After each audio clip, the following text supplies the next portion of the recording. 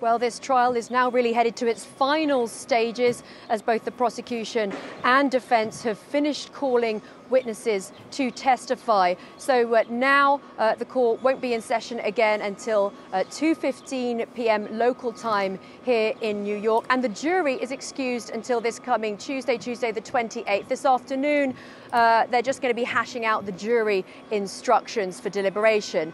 Uh, so, really, uh, we heard uh, this morning in court from the uh, final witness called by the defence. The defence only called two witnesses. The most important was Bob Costello, a, a, lawyer who at one point advised Michael Cohen, and the defence's aim in calling him was to further try to undermine Cohen's testimony. Now, uh, the prosecution called some 20 witnesses over the course of this trial, which is in its sixth week.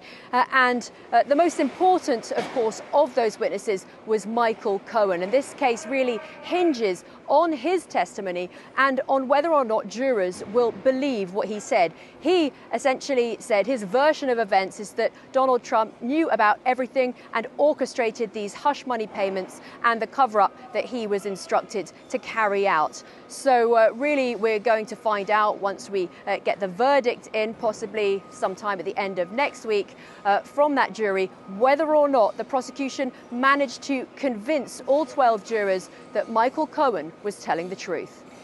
And Jessica, just give us a bit of an insight into what the last few weeks have been like for you as a journalist, because you've been in court, haven't you, covering it, but also outside talking to us as well. So, what's the whole thing felt like? Well, so let's start with inside the courtroom. Sitting inside, it really uh, sounded like listening to the inner workings of the mob. Uh, these were tales about uh, Trump sleeping with a former porn star, trying to cover his tracks so that this information uh, didn't get sold to newspapers and didn't get in the way of his run for president, uh, and also how he tried, allegedly, to cover his tracks. And uh, the main witness sounded like a mobster himself. Michael Cohen uh, is a known liar. And so uh, the prosecution is relying on somebody who is known to have lied before, even in court.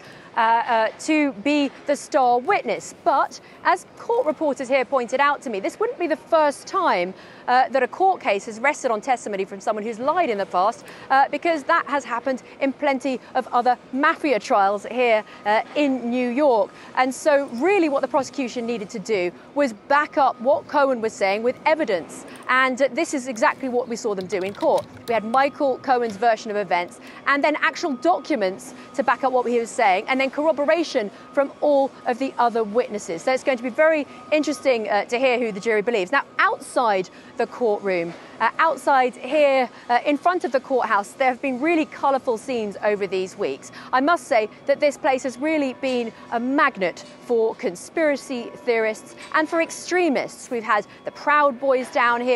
Uh, the head of the New York chapter of the Hells Angels. We've had far right, uh, right wing members of Congress coming to speak here.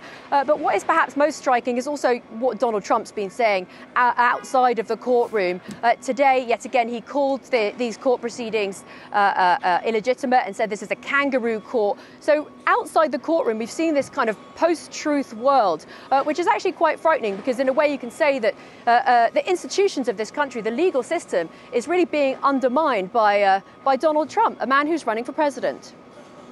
Jessica Le Masurier,